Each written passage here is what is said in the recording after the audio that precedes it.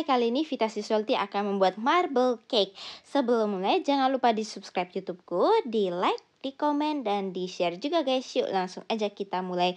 Yang pertama di sini udah ada margarin dan juga butter. Untuk campurannya aku udah tulis di description atau ada di videonya kotaknya itu ya. Kalian tinggal lihat aja untuk gramasinya. Kalau dia sudah lumayan soft kayak 50% tercampur gitu, masukkan susu kental manis lalu kita mixer kembali hingga dia betul-betul fluffy, pucat dan putih seperti ini. Jadi kalau kalian kalian angkat, kalian tuang kembali dia itu udah ringan. Terus di mixer yang lain, di sini aku aku pakai metode all in one aja. Ada telur, ada susu bubuk, tepung terigu, ada maizena juga dan juga icing sugar. Kita mixer hingga dia tercampur rata, hingga dia mengembang dan fluffy. Kemudian kita turunkan speednya, baru kita masukkan butternya sedikit demi sedikit. Seperti ini ya, gunakan speed rendah aja.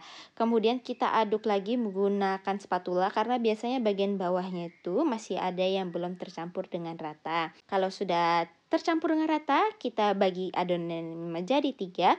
Kalau aku di sini bagi menjadi tiga ya ada yang aku kasih potongan keju seperti ini keju parut. Kemudian yang satu lagi aku kasih dengan coklat pasta. Ini campurannya ada cocoa powder dikasih air panas lalu ada coklat paste dari Tofiko biar mantep harumnya kita campur dengan rata. Kalau dia sudah rata, kita siapkan. Di sini aku pakai tool ban cantik seperti ini dari Signora. Kemudian kita kasih deh per layer kalian membuat motif seperti apa atau diselang-seling seperti apa, terserah kalian. Jadi kalau aku di bawahnya coklat, lalu ada yang original dan keju.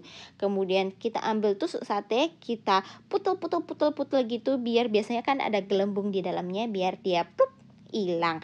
Kemudian di atasnya aku kasih dengan keju parut lagi biar mantep double cheese gitu ya. Kita panggang dengan suhu oven 165 derajat celcius kurang lebih 45 hingga 50 menit.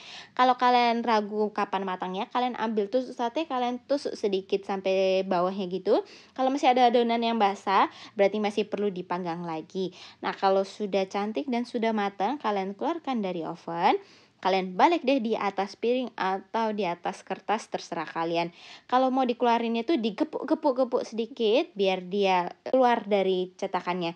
Biasa cetakannya ini udah anti lengket kalau kalian mau make sure dia gak lengket kalian boleh olesi dengan butter tipis aja Nah ini sudah hangat, sudah cukup dingin. Aku potong. Nah buat dalamnya seperti ini ya. Kelihatan ada marble-nya kayak gini. Beh mantep abis dan harumnya membahana. Kalau makan marble cake satu kurang cukup, dua paling bentuk. Jangan kebanyakan karena ini butternya penuh nanti kalian kolesterol ya guys. Follow Instagramku juga Vita Heriono. See you next video guys. Thank you for watching. Bye bye. Eh.